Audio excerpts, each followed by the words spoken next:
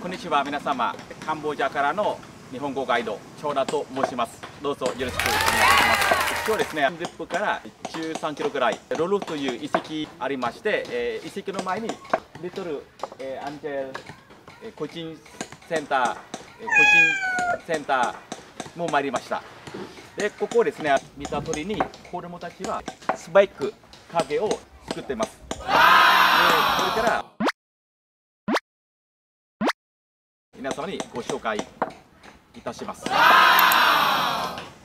えー彼はコチンセンターの代表ロタナと言います。でこのセンターですね、できたのは20年前、ちょうど2002年から始まったです。はい。現在は子供たちは20人が残っております。もともとは70人ぐらいいたそうです。なぜ減ったのか、あのまあ、コロナ生で、今の状況がまあ大変ですね。スパイクがあまり売れないので、子供が減ってしまいました。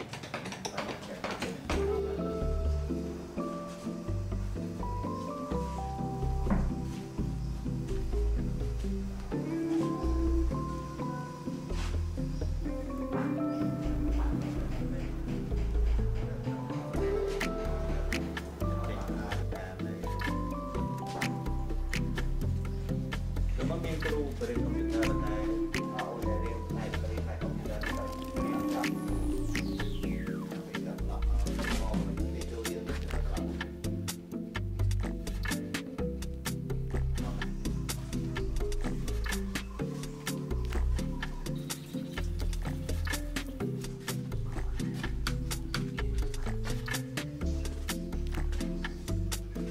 bạn ở tay còn tay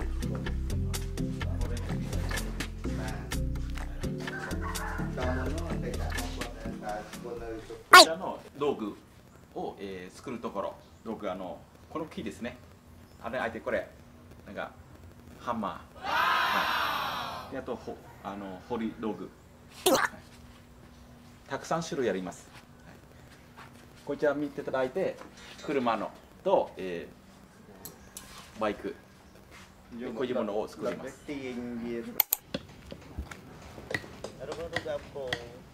はい、皆様あのご覧いただきまして、ちょっと大きいスパイクあります。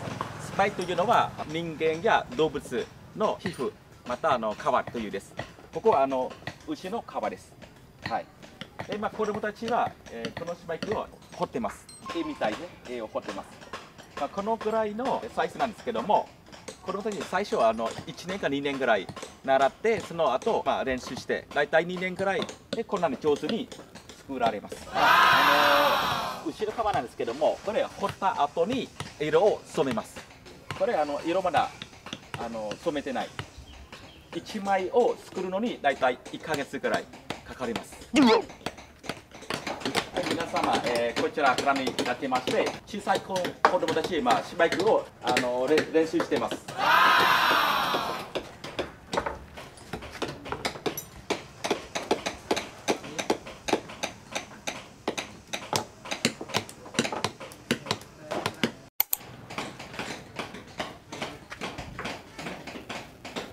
はい、こちらはこのコチンの、えーショップです。こちらへご覧いただきまして、シュバイクという、ここはあのサイズ大きいですね、シュバイトンという。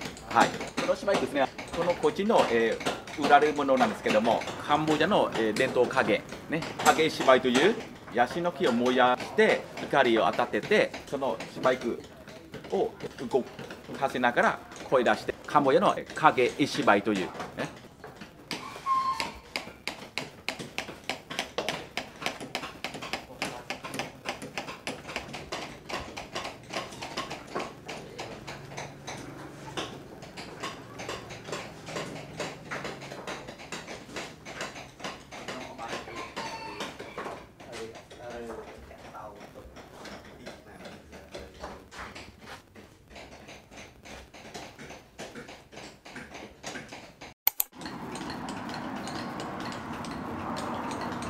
スパイクを体験のために作ってます。はい頑張ります。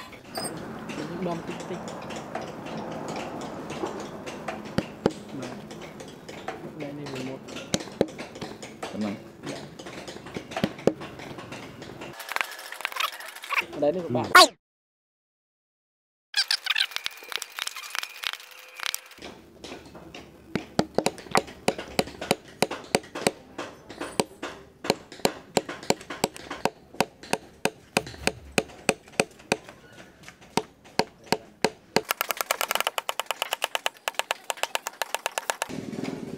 はいもうやっと行きました。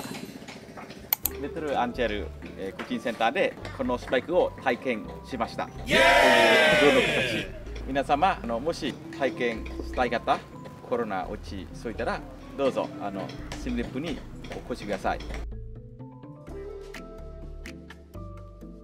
はい、またあの YouTube なんですけども、もしよかったらあの YouTube をアップスクライをしてください。お願いします。さよなら。どうぞ元気で。